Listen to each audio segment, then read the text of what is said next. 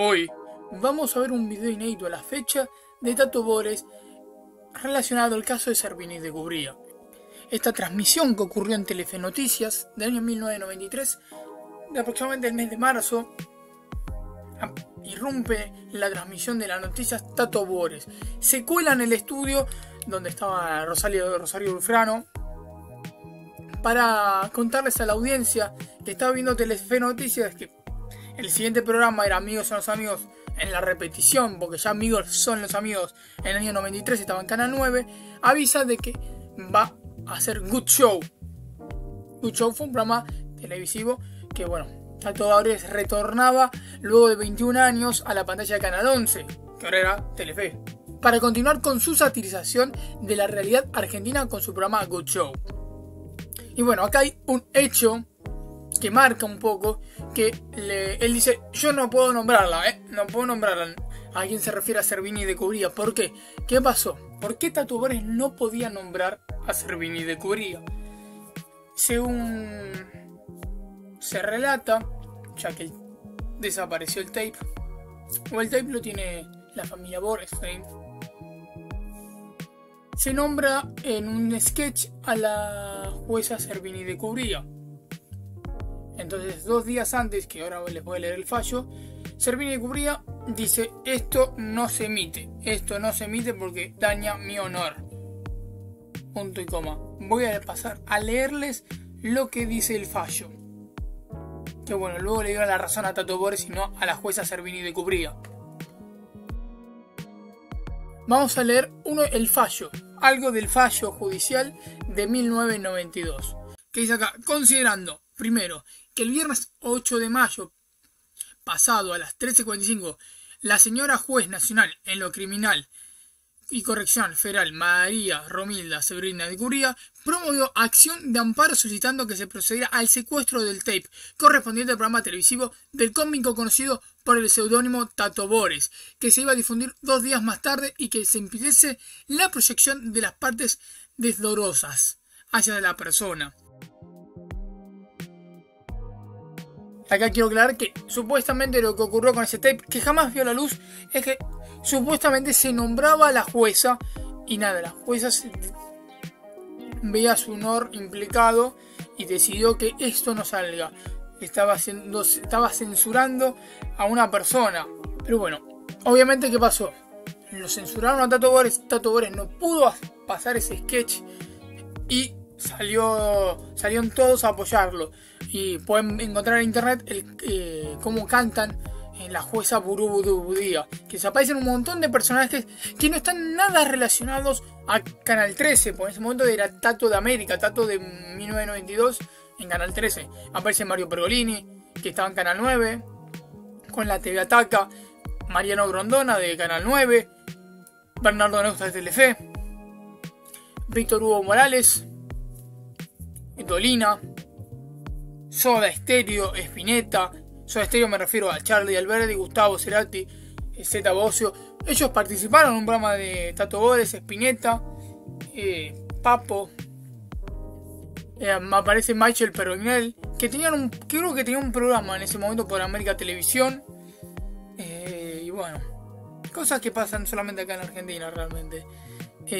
obviamente luego le dieron la razón a Tato Bores pero bueno, nunca se pudo ver el tape. Pero bueno, lo que podemos ver es cuando se presenta en Canal 11 Telefe, en el año 1993. Espero que este archivo personal les guste. ¿Cómo está? ¿Cómo le va? ¿Qué, Qué gusto de verlo. ¿Cómo anda? ¿Bien? La bestia peluda, ¿dónde está el otro? Bueno, digamos. No digamos dónde se puede decir. Bueno, qué buena noticia hoy, ¿eh? Y buen cierre, alegre. Tenemos una noticia y para me preguntó, dice, ¿cómo se dieron cuenta que había fuego? Y se pues estaba lleno de humo y un calomardo. ¿Qué quiere que le pregunte? Este, ¿Le puedo decir que el presidente Carlos Menem dijo que está abierta la posibilidad de que se someta a juicio político a la jueza? ¿La nombramos o no? La jueza... No, no. Él no puede. María Servini de Cubría, como se hizo con otros jueces. Muchas noticias buenas hoy. No vende la noticia buena, hay que vender otras cosas, gatillos fáciles, afaro de chicos, eh, bueno, El lunes a las 22 es la buena noticia. ¿Saben lo que voy a hacer un chico? A ver. El lunes, el próximo lunes a las 22, No dejen de verme. No, Pero están no, vendidos para a alquilar, bar- 22. para alquilar balcones va a ser. Realmente. Un adelanto, nada, podemos saber algo. Nada, no sé, yo no. Mucho curro, Estamos mucha corrupción. Estoy grabando. De todo ahí, no va a faltar nada. Esto sí espero, ¿eh? A las 22, no se olvide, Good Show. Good show. Qué bueno. Gracias, es un Tato. placer y bienvenido Gracias, a Telefe, Tato. Y acá estoy porque tiene mucho rating esto. Y bueno, Mucha gente, algunos gracias, clientes para el lunes a las 22. Bueno, mándenme ¿eh? que yo después también les mando. Perfecto, hacemos treque. Ok. Buen fin de semana para todos. Nos vemos el lunes. A las 22, Tato. Chao.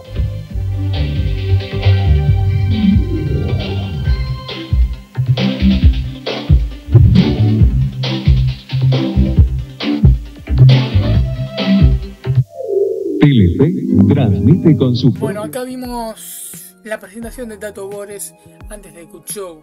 Próximamente al canal voy a subir algo del programa de Good Show. Próximamente veré cuando pueda digitalizar el archivo, ya que el archivo se encuentra en una calidad bastante rara, que no se puede pasar a digital porque se necesitan equipos muy antiguos, no los equipos más modernos. Pero bueno, cosas que ocurren en la Argentina, como vimos acá. Son cosas que ocurrieron en la Argentina. Esperemos que no pasen de vuelta. Pero bueno, esto es como lo dije más de una vez. La Argentina es una remake. Pasan los años y se vuelve a repetir lo mismo. Pero muchas veces cambian los actores. O a veces se repiten. Mm, Pero bueno. Eh, Ojalá algún día aparezca el tape de Tato. No creo que aparezca. Me comuniqué yo con un productor eh, televisivo que, justamente no estaba relacionado directamente con Tato Bores, pero sí estaba relacionado con una de las personas que cantó en contra de, la jueza. Cuando le nombré la jueza Burubudía, que aparecen todos cantando, bueno. Esta persona me comunicó que él realmente no se acuerda eh, pero seguramente cree haber visto el tape y según él lo que me comenta que él cree cree porque son mucho tiempo pasaron casi 30 años que él cree que se nombró la jueza pero nada más y acá ya entramos en un problema porque no es que la ironizamos o la- la- nos burlamos con una caricatura, una foto de ella donde esté comiendo, lo que sea, sino que se nombra simplemente. Pero bueno, también eran los, esos años raros en la Argentina donde se puede ver en muchos tapes, digamos, eh, cosas que hoy en día no se aceptan ni siquiera, dichos horribles. Bueno, tenemos casos de, si vamos a poner un caso contexto, es Mauro Viale. Yo creo que lo sacarían del aire, porque no lo podés decir semejantes barbaridades. Como dijo Samir, usted no puede decir semejante barbaridad. Se tiene que repetir lo que dijo. Nos conocemos muy bien. Espero que este video un tanto, un poco humorístico, les haya gustado. Si es así, háganmelo saber dándole me gusta, comentándolo, suscribiéndote y activando la campana. Nos vemos la próxima. Hasta luego.